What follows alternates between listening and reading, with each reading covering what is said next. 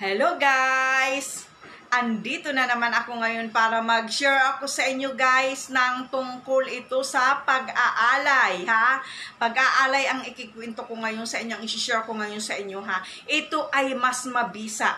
Ang na-share ko dati sa inyo guys ay yung pag-aalay lang guys na kumbaga dasal lang tapos kandila at yung mga halimbawa mga candy, or cupcake. Yun lang guys ang na-share ko sa inyo dati ha. Ngayon may ituturo ako sa inyo. Ito ay napaka effective guys. Sa napaka effective. Basta maging matyaga lang kayo guys. Ha. Ngayon guys ha, kasi marami ang nagmain mga nagme-message pa rin sa akin guys yung tungkol sa pag-aalay. Ma'am, pwede ba mag-alay ng pera? Ha? Yes, pwede yan gawin guys na mag-alay kayo ng pera. Yung bang ano guys, halimbawa lang nagdarasal na kayo ha. Halimbawa lang, halimbawa lang guys. Mag-aalay kayo 6 o'clock lagi ha. Huwag na huwag kakalimutan ha. 6 o'clock every Tuesday and Friday ako, ginagawa ko everyday talaga ay nag-aalay ako. Siyempre, ano na ako sa spiritual, kumbaga medyo malalim na ang kaalaman ko. Eh, hindi naman ako nang hihinayang sa kandila at sa dasal, guys, sa mga inaalay ko dahil nakakain din natin yan, guys. Ha? Ngayon guys, ang gagawin nyo, halimbawa lang sabihin na gusto nyo ng pera mag-alay. Pwedeng pwede yan guys, mas maganda yan, mas matutuwa ang mga kung sino man sila guys na nandyan sa loob ng bahay natin. Kasi ako guys, ginagawa ko na yan guys. Ha? Dati hindi ako gumagawa niyan guys yung mag-alay ng pera.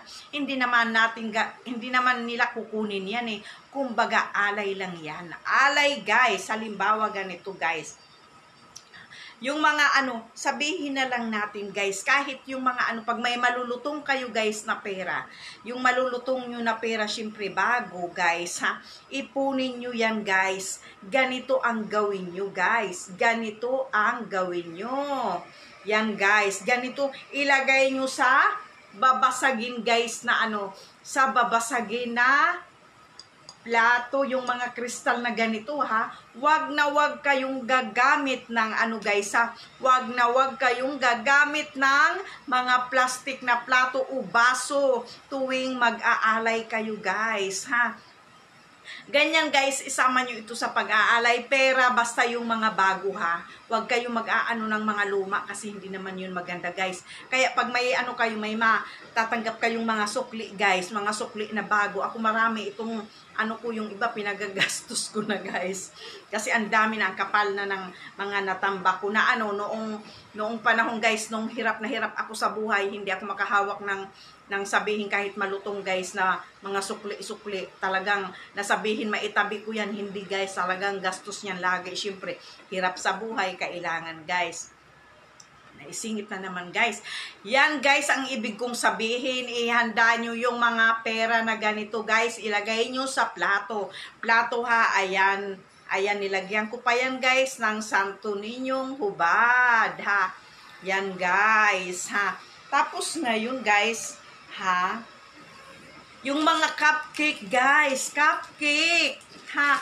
Kasi may mga nag-aalay na kumbaga ang kaya lang nila ay yung mga mumurahin lang na pagkain, guys. Pwede rin guys yung ganito, ha? Ganito, guys. Tapos ngayon, ano ang gagawin nyo? Pag mag-aalay kayo, guys, kasi ang daming nagtatanong sa akin, kaya lagi, guys, ano ang kamay ko? Ano na may rayuman na guys ang kamay ko dahil syempre pag nanonood sila minsan yung iba hindi nila masyado naiintindihan magme-message sa akin ma'am pag mag-aalay ba bubuksan ba yung ano guys yung mga cupcake cupcake na yan guys Oo, bubuksan nyo yan guys. Huwag kayo manghihinayang sa pag-alay na yan. Magkano lang naman ito, di ba? Kung ang ibibigay naman sa inyo ay kaginhawaan sa buhay. Yan guys, buksan nyo yan. Tapos, ilagay nyo yan guys sa sa plato din guys. Huwag nyong isama dito ha. Baka isama nyo sa pera. Kumbaga ilagay ito sa ibang platito na babasagin. Huwag na huwag gagamit ng plastic guys. Yan guys ha, pag-aalay. Tapos ngayon guys, lagi tandaan guys, ha, laging tandaan, nagagamit lagi ng maliit na kandila dahil tuwing gagamit kayo ng kandila, ha, laging ipapaubos yan. Laging ipapaubos talaga yan, ha. Wag na wag nyong aanuhin na patayin nyo, gumamit kayo ng malaking kandila, tapos papatayin dahil sayang. Wag na wag guys, bumili na lang kayo ng maliliit na kandila dahil marami naman dyan. Ako sa grocery ako, bumibili ng mga kandila na maliliit. Ha, kasi mas mura sa grocery guys kisa sa mga simbahan. Sa simbahan mahal yung mga kandila. Ano, 10 piso ang isa. Samantala pag sa grocery ka bibili, ano guys, makakatipid ka. Ha? Kasi kahit na ano basta ganito guys, kahit na ano yan basta puti. Okay na yan guys. Yan lang guys ang kailangan nyo. Tapos yun na nga ang sinasabi ko guys, magdasal na kayo ha. Tandaan guys, alas 6 ng hapon, ha, alas sa isang hapon, huwag kayo mag-aalay ng sabihin na ay hating gabi na, mag-aalay, hating gabi ako darating sa bahay, mag-aalay, kasi ganun ang mga message sa akin, huwag na huwag guys, dahil pang alas 6 ito guys, ha, alas 6, ano ang alas 6, di ba pag alas 6 guys, naglalabasan na dyan yung mga elemento na yan o kahit na mga espiritu na yan. Pag alas 6 guys. Yan guys ang ibig kong sabihin.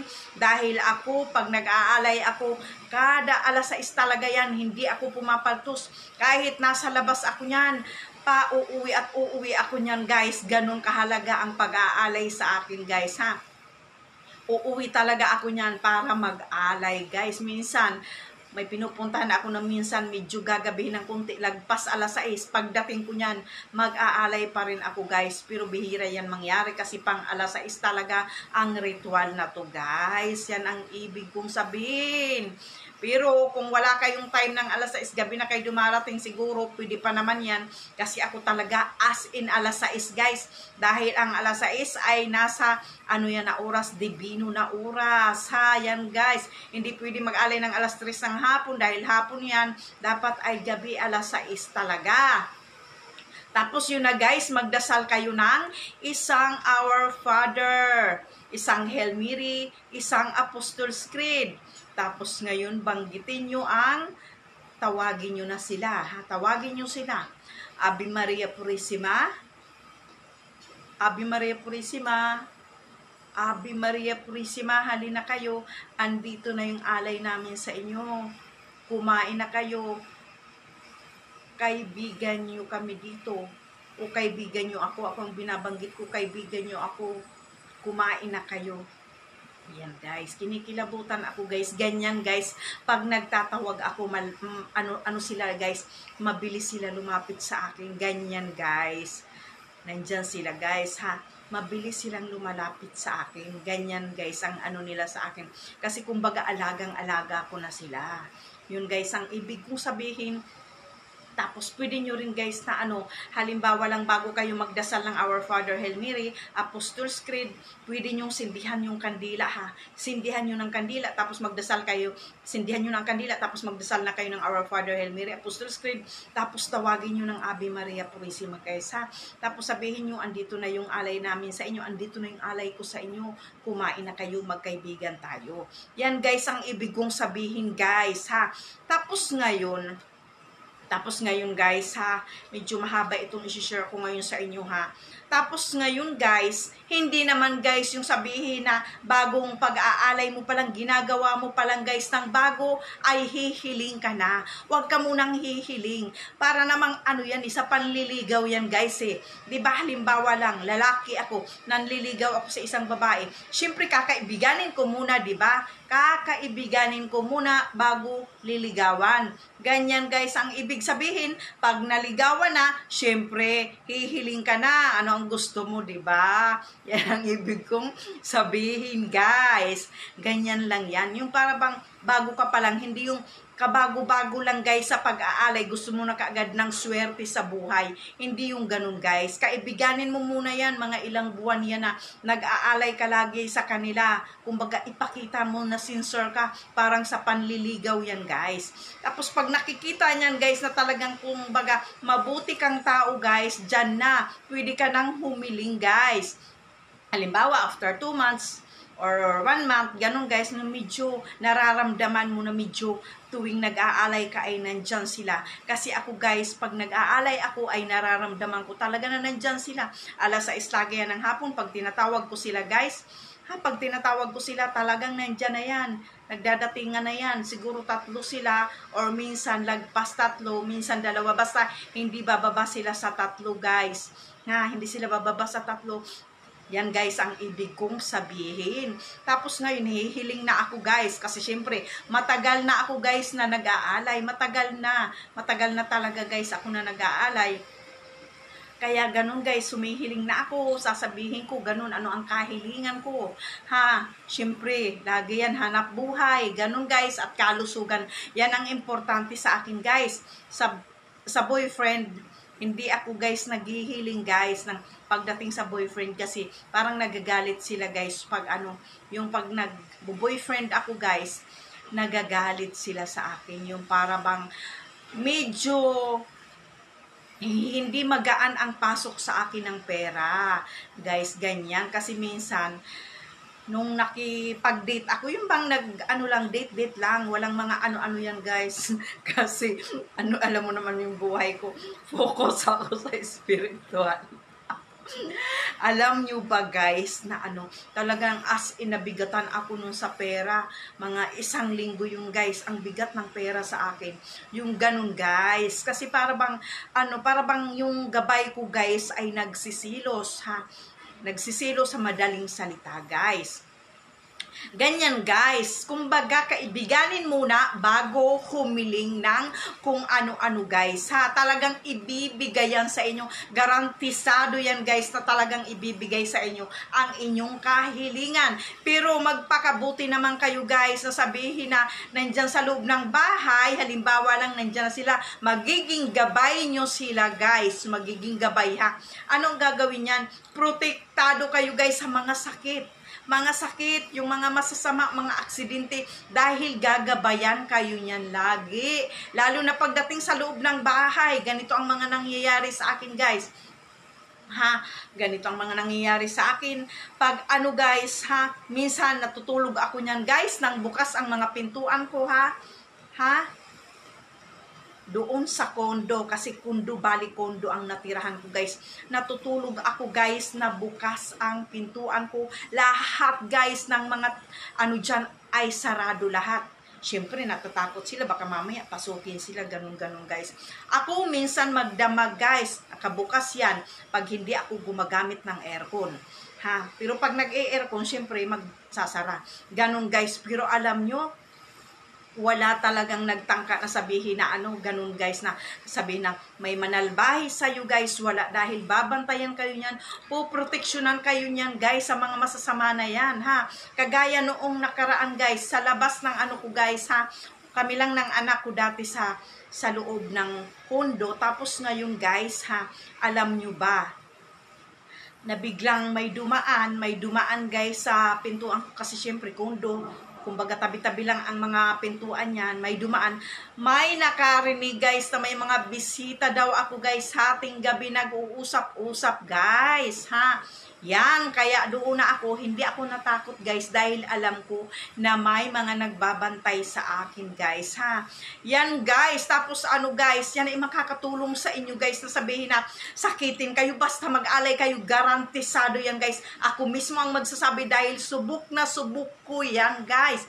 Halimbawa lang sakitin kayo dati, halimbawa lang sa loob ng pamilya nyo lagi may sakit, halimbawa lang anak mo lagi may sakit, ikaw lagi may sakit kasi ako ganun ganun dati lagi guys nang hindi pa ako nag-aalay kaya ako mismo ang magpapatunay sa inyo guys ha.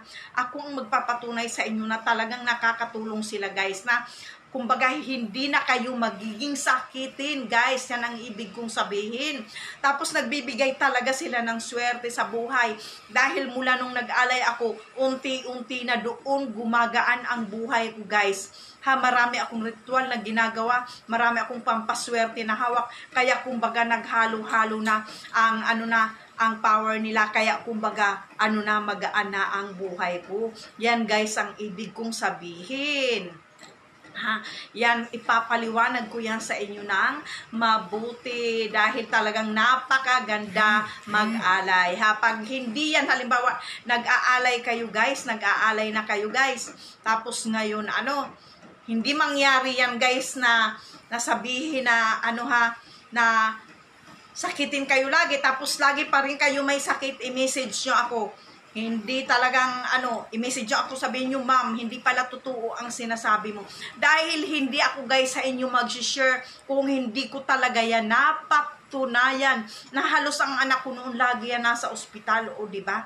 Lagi nasa ospital, inom, lagnat, ubo, sipon, hospital, lagi yan may sakit, nagtatae, nagsusuka. Yan guys, ang naano, pati ako nagkakasakit. Pero nung naimbento ko guys yung pag-aalay na yan dahil may nakapagsabi sa akin, ultimo mga artista na iba, artista, mga politician mayayaman, nag-aalay talaga sila guys. Kaya kumbaga, ang buhay nila ay magaan. Ganun guys ang ibig kong sabihin. Ang katinang ilong ko.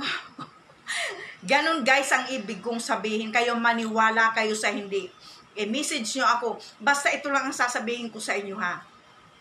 Pag nag-aalay kayo guys, halimbawa sa loob ng bahay ninyo, halimbawa lang, ikaw lang at ang anak mo, halimbawa lang ha. Kasi ako lang at ang anak ko sa bahay namin ha. Ngayon guys, iwasan mo ang magmura. Yung mga gawain na hindi maganda guys ha. Dahil guys, halimbawa, nagmumura ka lagi, gumagawa ka, boyfriend, playboy ka, playgirl ka, kung sino-sino ang dinadala mo sa bahay mo yung mga gawain na ganun guys, kasi ako talaga guys, nagpakabanal ako. Yung para bang iniiwasan ko talaga guys, yung mga kasalanan. Sabihin ko, hindi naman ako banal na tao ha.